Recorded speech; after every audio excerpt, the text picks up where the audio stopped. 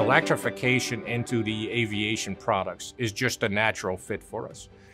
We have renewable energy businesses. We have a global research center. Um, we're pulling all those resources together. At GE, we've started referring to it as our noble cause of a sustainable aviation industry. We're at the starting point of a inflection where a lot of new technologies are getting introduced and accelerated towards introduction. The electrification, the open fan architecture. The open fan architecture gets the entitlement in propulsive efficiency as a engine architecture. You can still fly at the same speeds as today, the same altitudes as today, but you're getting the propulsive efficiency of effectively a turboprop.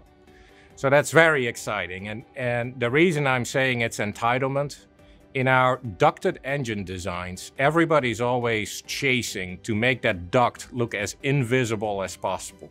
The lowest amount of surface area, the lowest um, amount of weight. So to really get to the maximum where you can get to is eliminate that duct. But then the challenge is how you get that uh, capability of today's turbofans.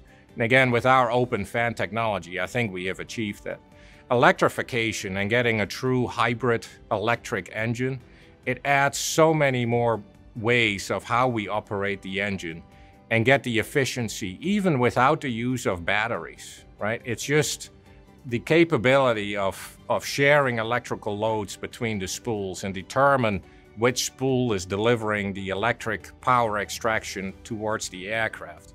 It, it, it gives phenomenal opportunity. So as an engineer, that's just really cool stuff to be working on.